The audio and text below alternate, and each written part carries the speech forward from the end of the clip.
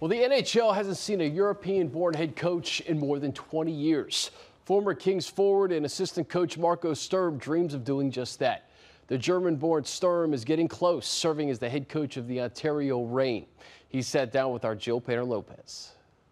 Here's the King of the Rink, sponsored by Rotolo Chevrolet.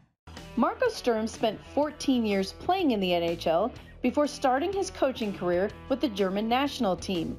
Then, in 2018, he joined the LA Kings coaching staff, serving as an assistant before becoming head coach of the Ontario Reign in 2022. A different path than some other uh, coaches. Um, I started with the NHL first. Usually it's vice versa, but uh, I'm glad I did it that way because now I understand what the Kings wants out of those young kids coming up, and that's a big, big advantage for me. Out of the box is Brandt Clarke. He's got a breakaway to the backhand, forehand, score! What's it like for you to see when your guys that you're helping develop, when they're up with the Kings and having success? It was always a bad feeling losing guys because I don't want to lose guys. I want my guys around. I want to win hockey games, but that that changed, right? Now I'm I'm like looking forward to to see those kids having success. In 2018, Sturm led the German national team to unprecedented success, winning a silver medal at the Pyeongchang Winter Olympics.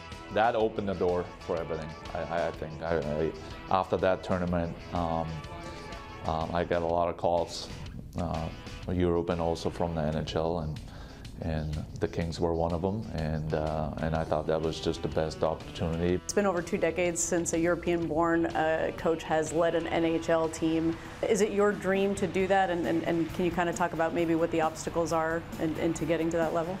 Being in the States as a player for such a long time, being around the NHL, I know how hard it is to get in, and a lot of people said after the Olympics, especially people at home, they didn't understand why I'm leaving for assistant coaching job, right?